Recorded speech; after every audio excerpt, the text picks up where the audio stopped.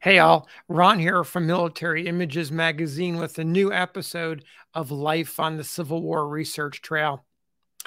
I want to take you back today 160 years to July 4th, 1863, the evening of July 4th, 1863. The man pictured here, Sam Wilkeson, who was war correspondent attached to the headquarters of the Army of the Potomac he was with the New York Times and was with headquarters throughout the battle. He filed his report, the first news report that he wrote of the battle on that evening for Americans to read, and the report was published a couple of days later.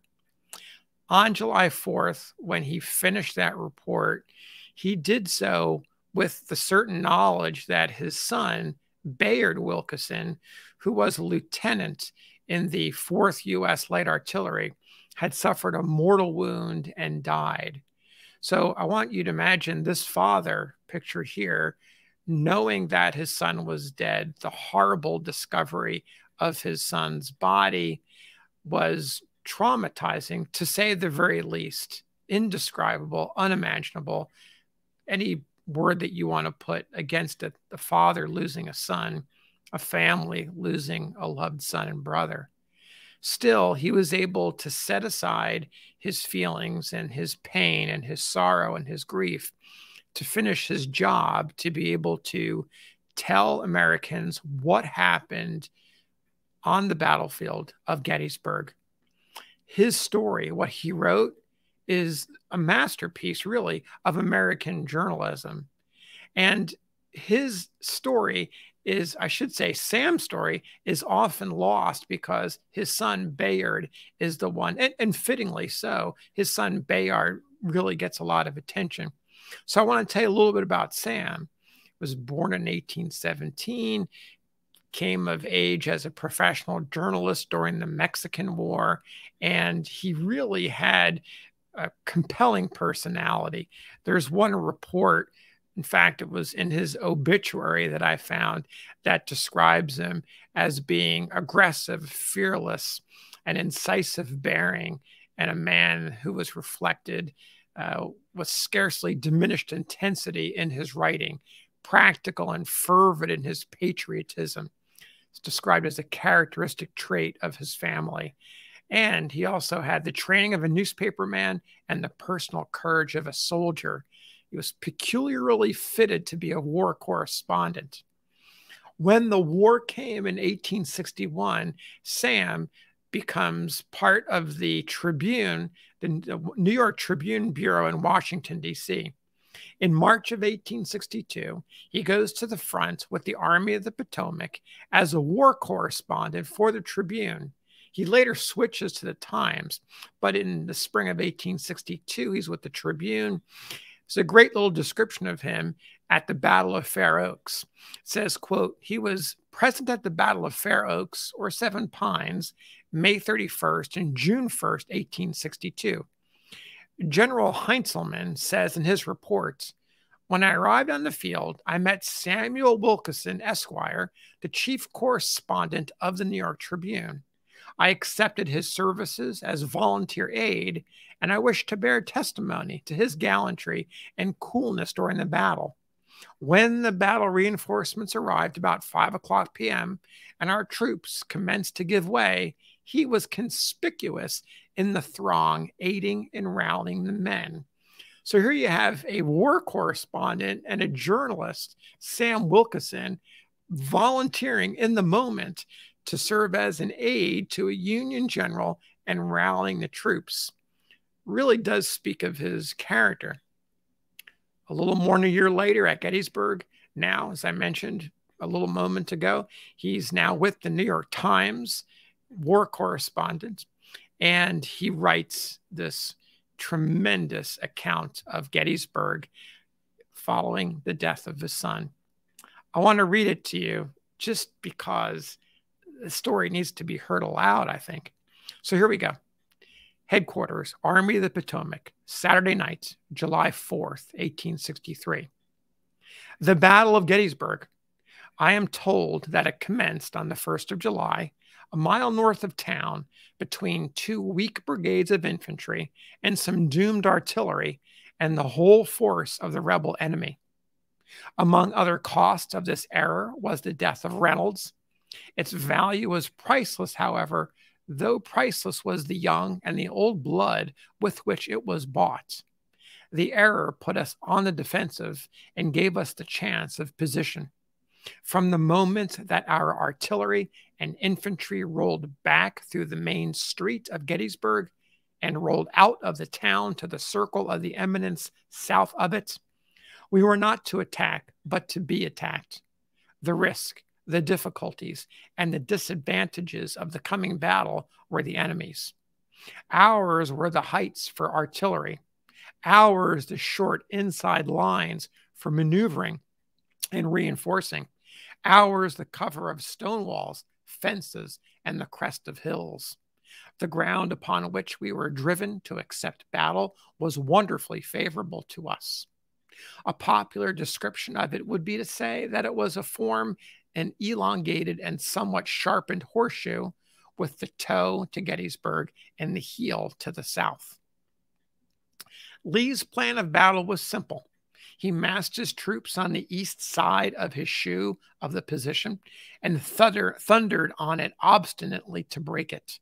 The shelling of our batteries from the nearest overlooking hill and the unflinching courage and complete discipline of the Army of the Potomac repelled the attack.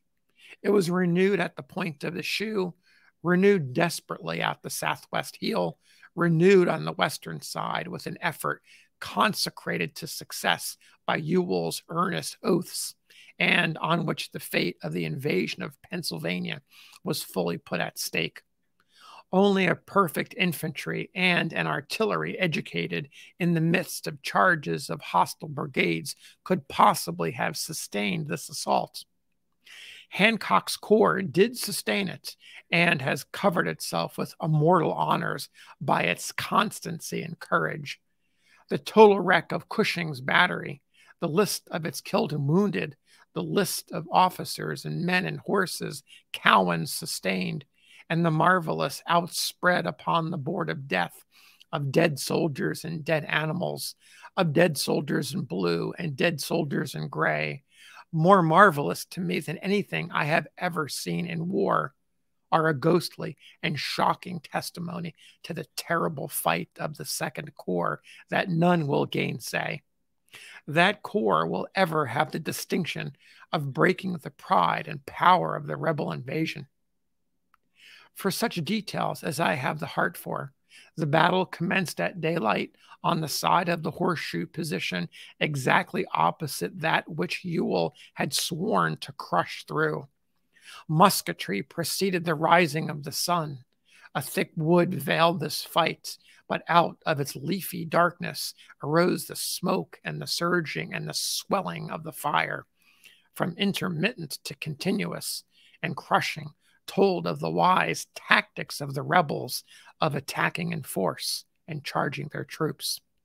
Seemingly, the attack of the day was to be made through that wood.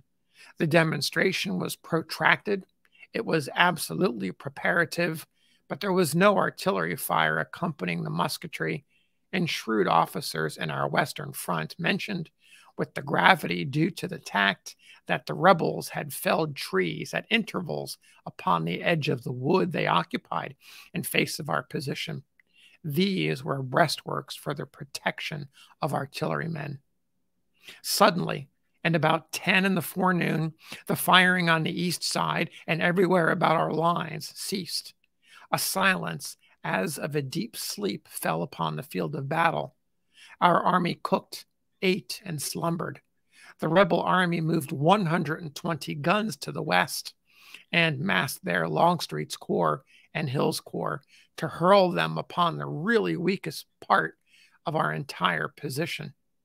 11 o'clock, 12 o'clock, 1 o'clock, in the shadow cast by the tiny farmhouse, farmhouse 16 by 20, which General Meade had made his headquarters, lay wearied staff officers and tired reporters There was not wanting to the peacefulness of the scene the singing of a bird, which had a nest in a peach tree within the tiny yard of the whitewashed cottage.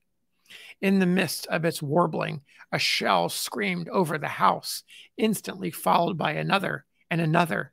And in a moment, the air was full of the most complete artillery prelude to an infantry battle that was ever exhibited every size and form of shell known to British and American gunnery shrieked, whirled, moaned, whistled, and wrathfully fluttered over our ground.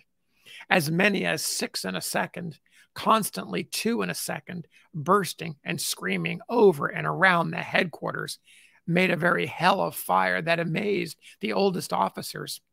They burst in the yard, burst next to the fence on both sides, garnished us, usual with the hitched horses of aides and orderlies. The fastened animals reared and plunged with terror. Then one fell, then another.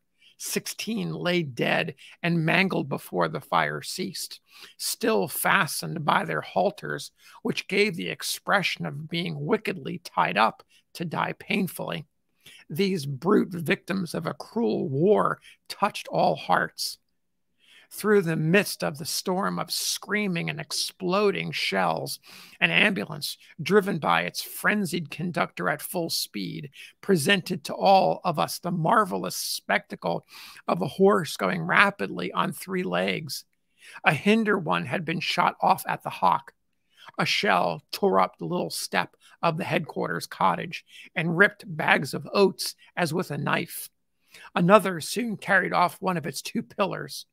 Very soon, a spherical case burst opposite the open door. Another ripped through the lower garret.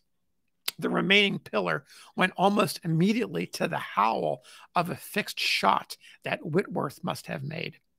During this fire, the horses 20 and 30 feet distant were receiving their death, and soldiers in federal blue were torn to pieces in the road and died with the peculiar yells that blend the extorted cry of pain with horror and despair. Not an orderly, not an ambulance, not a straggler was to be seen upon the plain, swept by this tempest of orchestral death.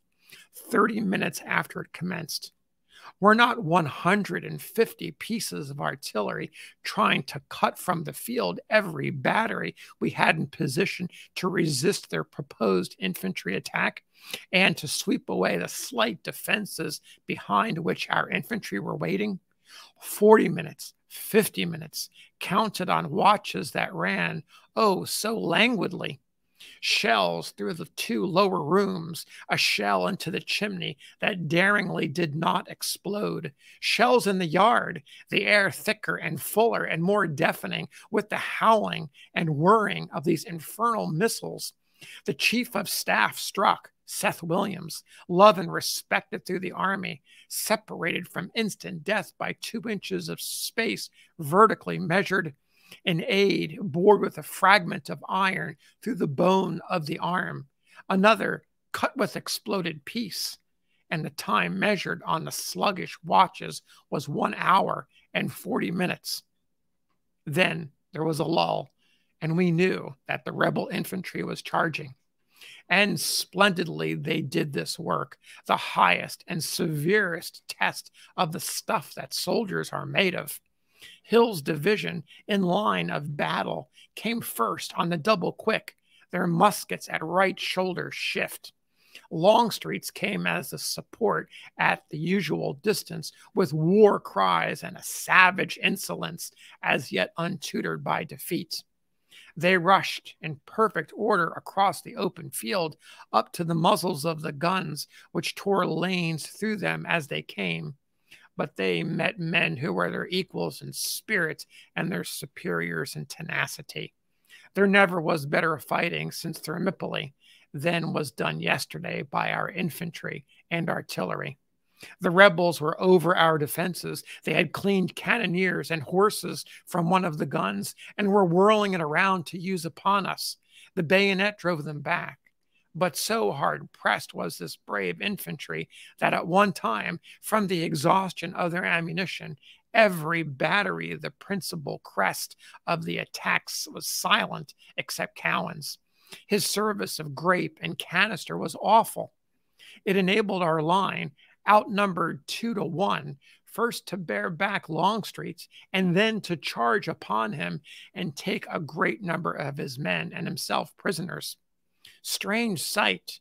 So terrible was our musketry and artillery fire that when Armistead's brigade was checked in its charge and stood reeling, all of its men dropped their muskets and crawled on their hands and knees underneath the stream of shot till close to our troops, where they made signs of surrendering. They passed through our ranks, scarcely noticed, and slowly went down the slope to the road in the rear. Before they got there, the grand charge of Ewell, solemnly sworn to and carefully prepared, had failed. The rebels had retreated to their lines and opened anew the storm of shell and shot from their 120 guns.